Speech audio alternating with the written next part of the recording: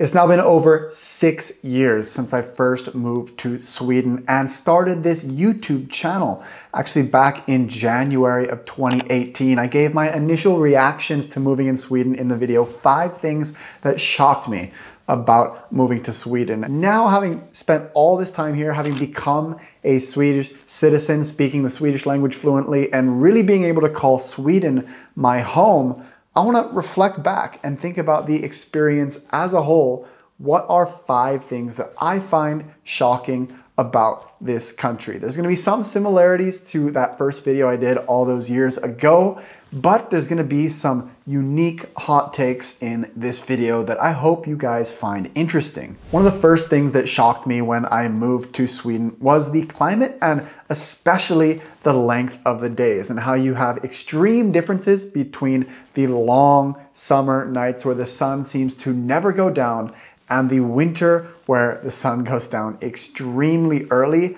And there's so much variation throughout the days here in Sweden that it still surprises me year after year that I live here. Så vad, ty vad tycker du om det här vädret i Sverige? Ja, det är bra. Det är mycket bra vädret.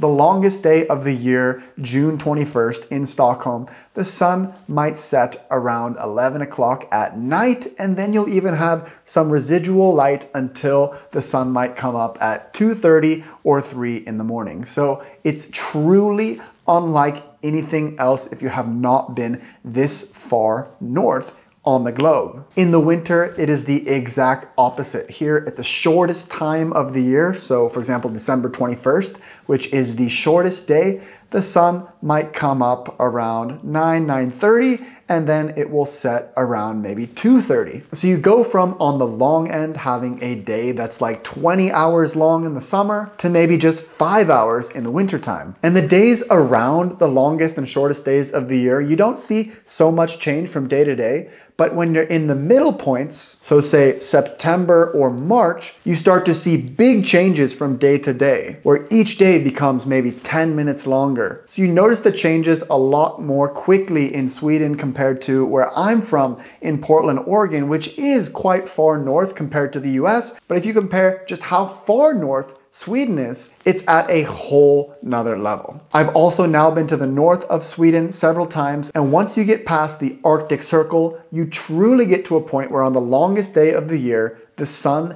never sets. The second thing that shocked me about moving to Sweden is something that I'm gonna call the lagom lifestyle. Now, for those of you not super familiar with Swedish culture, there's a word in Swedish called lagom, which basically translates to not too much, not too little, just right. But to me, this is more than just a word, it's almost a way of life because in Sweden, people don't like to necessarily stand out. And in general, I think people live a very moderate lifestyle. People are more happy with what they have. Whereas growing up in America, I felt like people were always pushing for more. It's a very competitive society. It just seems like people here have more of a sense of inner peace, and there's less of this hustle culture that you'd be sure to experience if you spent any real time in the US. The only way that Swedish people are not lagom, I would say, is the amount of coffee that they drink because I've never met other people anywhere in the world that drinks more coffee than the Swedish people do. The third thing that shocked me about moving to Sweden and now having lived here for so long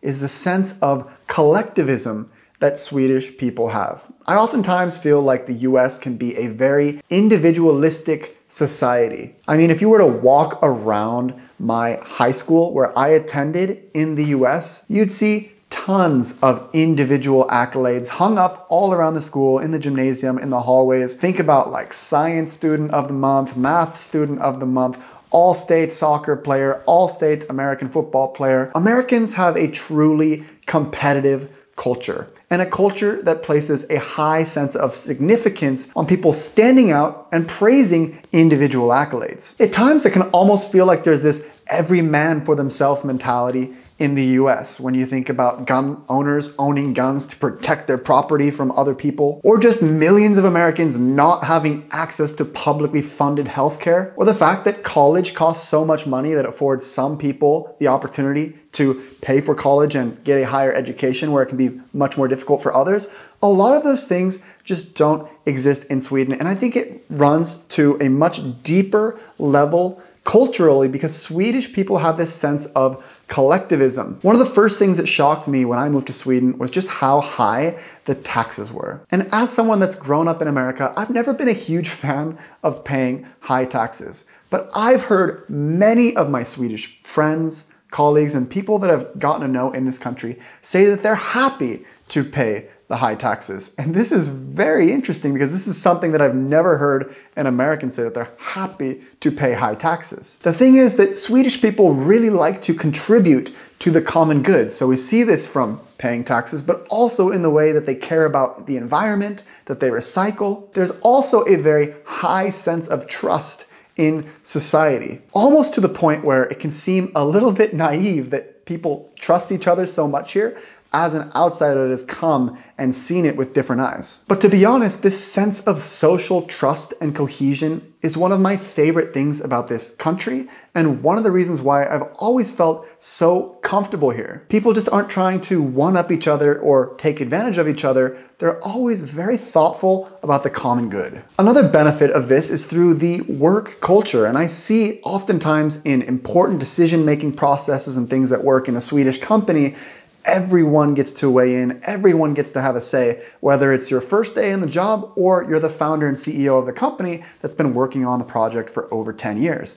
Everyone's opinion is valued, and there's much less of a hierarchical structure, which is pretty common in the vast majority of other countries. In contrast to the sense of collectivism in Sweden, the fourth thing that really shocked me about having lived here for so long is the sense of individualism in Swedish society. And one statistic that really makes this stand out for me is that Swedish people move out of their parents' homes on average at 17.8 years of age, which is one of the lowest ages in the world for citizens globally to move out of their childhood home. Contrast that with many cultures in Southern Europe where people will not move out of their parents' home until their late 20s. This sense of individualism in Sweden basically means that people want to be independent. They don't want to be a burden on anyone else. And I would say that people in this country are very self-sufficient. They're well educated, really great independent thinkers, and so you see this interesting contrast of people wanting the good of the collective but being very self-sufficient. And this sense of independence can manifest itself in all kinds of ways throughout Swedish society. Notably,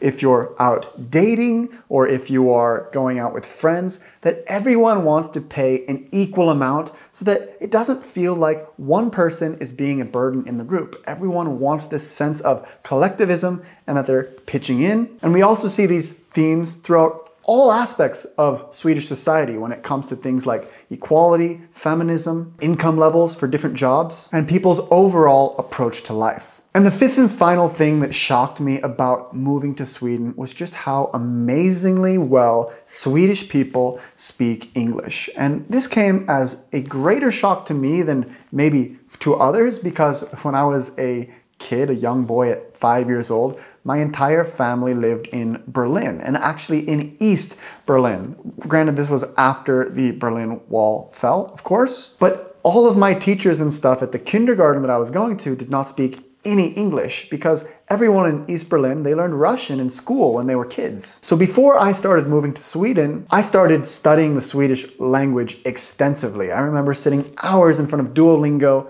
every single day to start to build up my basic vocabulary. But then when I finally got to Sweden, I was absolutely shocked how well Swedish people speak English. I might even go as far as to say that even if you're living in Sweden as a foreigner, it's not necessary to speak Swedish. But with that being said, if you do learn to speak Swedish, it opens up an entire new realm of Swedish culture and being fully integrated in Swedish society. And it's something that I'm very glad that I've done personally. The problem is because Swedish people are so good at speaking English, a lot of times for the people that are trying to learn Swedish, want to try to practice speaking Swedish with actual Swedish people, they'll quickly switch to English because people have this tendency to communicate in the language that is easiest for both parties. To try to solve this problem, a few friends and I have created a new way to learn Swedish, and it's called the Language Gym. What the Language Gym is, is basically it's a dedicated space for anyone that's trying to learn the language to constantly practice